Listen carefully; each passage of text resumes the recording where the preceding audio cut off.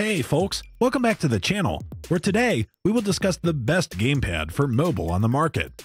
Without further ado, let's get started.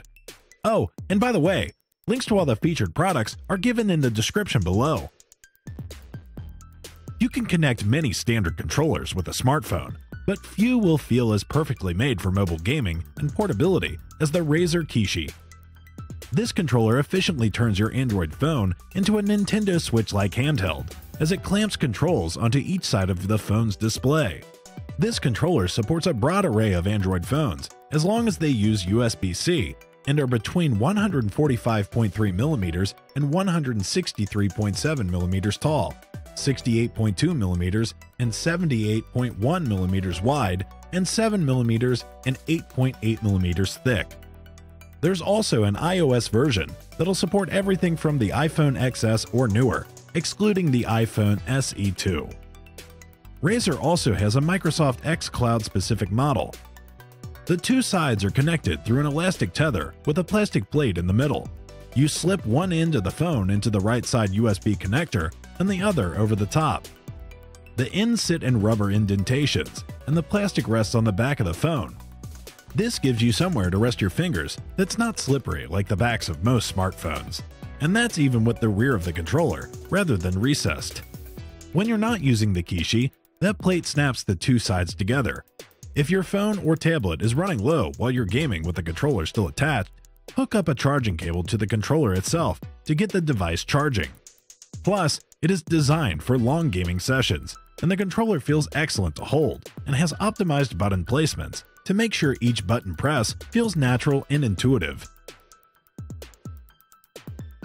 Another well-rounded controller, the SteelSeries Stratus Duo, is filled with buttons, two joysticks, a four-way directional pad, four action buttons, two shoulder buttons, two triggers, and three front-facing buttons.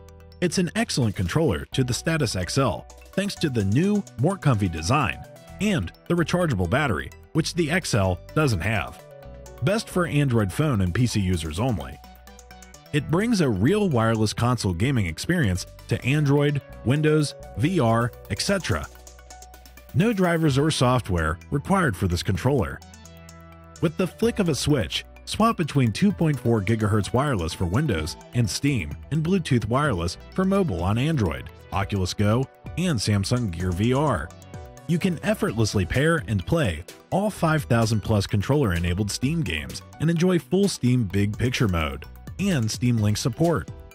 It uses magnetic Hall effect triggers that are more durable than their traditional counterparts, maintaining their snappy and reliable performance over a lifetime of use.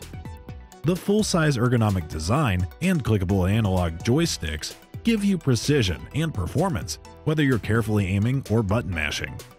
Besides that, it is provided with a lithium-ion battery that offers 20 plus hours of constant playtime and can also recharge while playing, employing the included micro USB cable.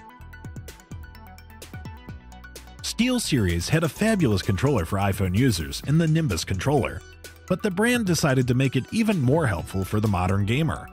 The newer SteelSeries Nimbus Plus keeps the original design primarily intact, but it has turned what was once a battery that could last 20 hours into one that can last for over 50 hours of gaming.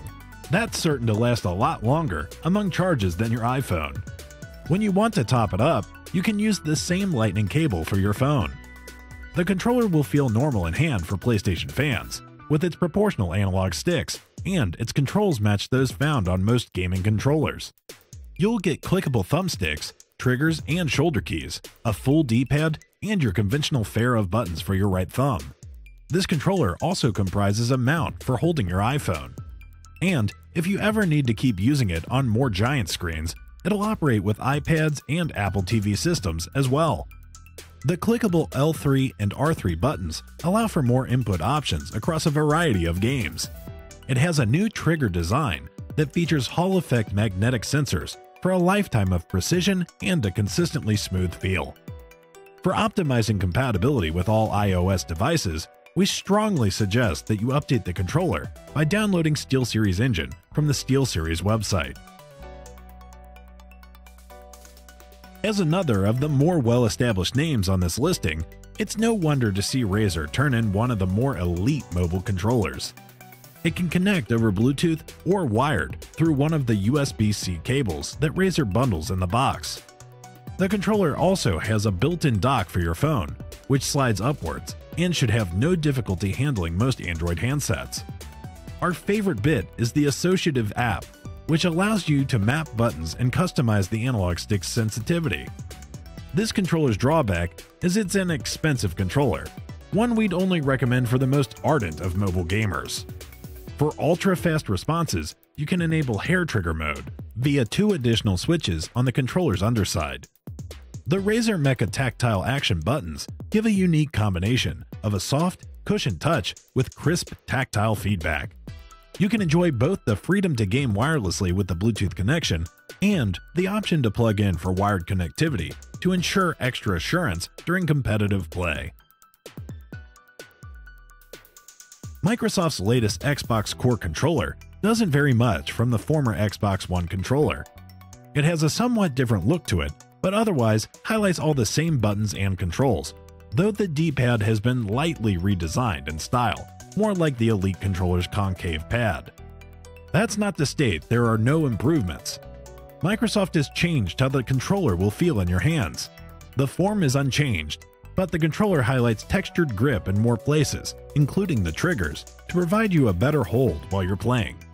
One vital upgrade makes this a strong mobile option, and that's the upgrade to Bluetooth LE for a lower power connection with tablets and smartphones.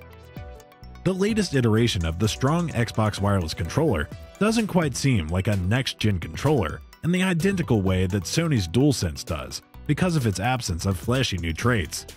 Nevertheless, subtle changes to the D-pad and the new share button have changed it in minor ways that will resonate with every game you play, regardless of which generation of Xbox you're utilizing it with, and an outstanding choice for gaming on PCs, phones, and tablets.